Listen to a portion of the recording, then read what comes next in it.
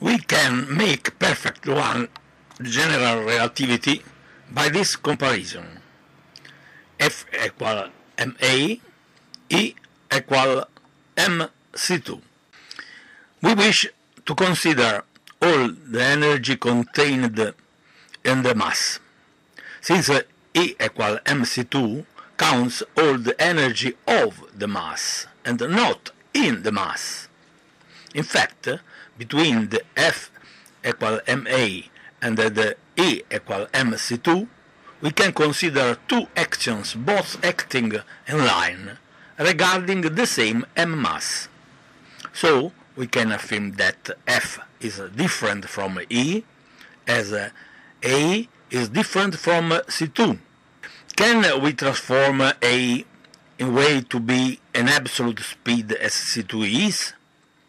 Since the acceleration A is equal to the velocity 0 plus velocity 1, it is the same if uh, both the equation terms are risen to the base 10. 10 risen to a is equal to 10 risen to velocity 0 multiplied by 10 risen to the velocity 1. In this way we understand that the a, the absolute uh, acceleration, is equal to the square root of uh, a velocity and is equal to the C2 that is the square of the absolute velocity c. Now, considering the F equal ma in the absolute acceleration, we can show it in this absolute way. F equal m the square of uh, the velocity is equal to E equal to mc2 that is the general relativity and we can write this proportion f divided e is equal to the square of the velocity divided by the square of the c2. Now f acts in one line while e acts in the three lines of the component of the Cartesian term. And uh, f divided e equal to v2 divided c2 in dimensions is 1 to 3 equal to 1 to 1. So we haven't considered two dimensions. The two of the electromagnetic plane as the electromagnetic plane wasn't it, or as it was unitary, 1 multiplied by 1. In fact, the 10 cubed decimeters cubed of 1 meter cubed existing in 1 second can be the absolute speed 10 cubed decimeters every second as the velocity of 1 decimeter squared going on in line in all the length of 10 raised to 3 decimeters cubed only if the area is unitary one. On the contrary, the C2 doesn't consider the electromagnetic section as it was unitary one, but it cannot be, since it is real one. The reality contains space and time. The space S over the unit S, and the time is t raised to minus 1 when t is equal to 1. So 1 plus 1 divided t, that is the decimal time of the unit. Since three dimensions of space exist in three sides uh, 1, 1x plus 1 epsilon plus 1 z, zeta is equal to 3 multiplied x epsilon zeta every one line and is the absolute speed 3 every one. But 3 divided the c speed, that real one, is 1.0006922855 until the atomic unit and contains 1 plus 0.000692285 as the unitary time of the base. 144.49055 risen to minus 1 where this base is made by the unitary bonds of the volume, of the reality, of the 90 as the one quarter of the turn, of the electromagnetism, and uh, so on. Every bond are the base of the time.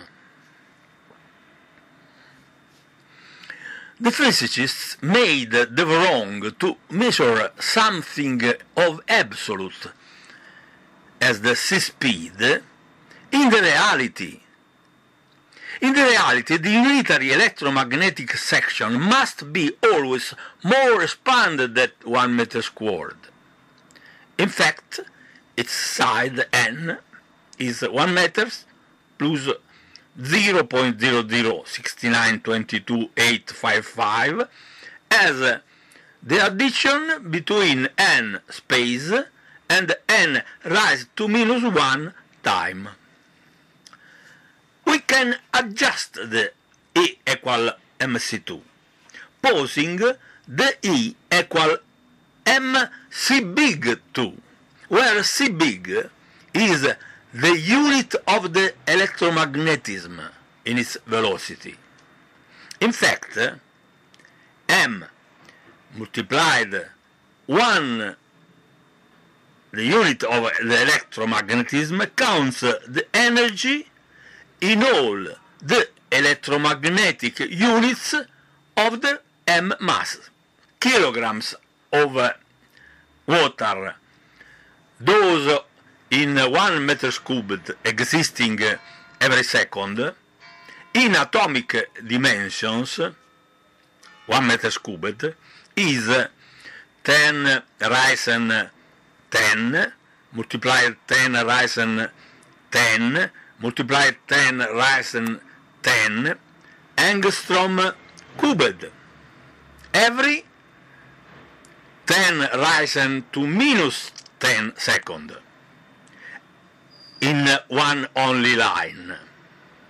And in only one line 1 meter squared multiplied 10 risen 10 meters every second equal to 10 squared meter squared multiplied 10 risen to 8 meters every second in one only line is in the three simultaneous line x, y, z three times 10 risen 8 meters every second. And it is the speed of 100 meters squared, whose uh, time is the unitary one in kilograms. So, 1 kilograms is speed 3 multiplied 10 risen 8 meters every second. And it is the unit of the mass. It is 1 kilogram. The eh, unit of the electromagnetism is that of 1 kilograms. We can reason also in this way.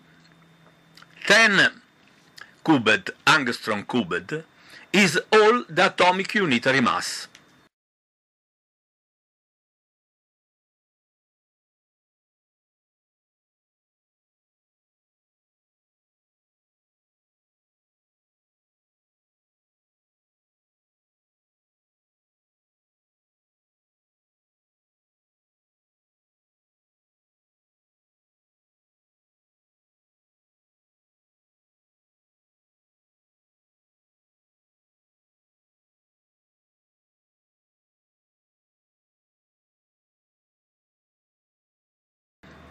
Since the real section is uh, 1.0006922.855 sided, the space run by the light is the real chi of the chi big, that is uh, the volume of the mass, that is 3 multiplied 10 risen to 8 meters cubed in the presence of a time of one second. And it is the mass the unitary mass of one kilogram. This is the unit c. And it is the quantity that multiplied by the m mass uh, can give the exact quantity of all the energy in the mass and not of the mass. The energy in the mass is the full transformation of the mass in energy. That is the full expansion in three lines. On the contrary, the equation of Einstein's does not expand the electromagnetism in the section, but only considers the velocities of the flow, the electric and the magnetic. Both are equal, and so m is the mass in the section multiplied by the squared of the velocity, one that is electric and the same that is magnetic, magnetic represents all the movement of the section and not the expansions of the section. So, this is the reason because the unit of the mass is not expanded but only moved in both directions. And if we do not transform also the section in its energy, we have not all the energy, but all, only the energy of the mass that moves itself. On the contrary, all the energy is that which transform all the mass in its energy.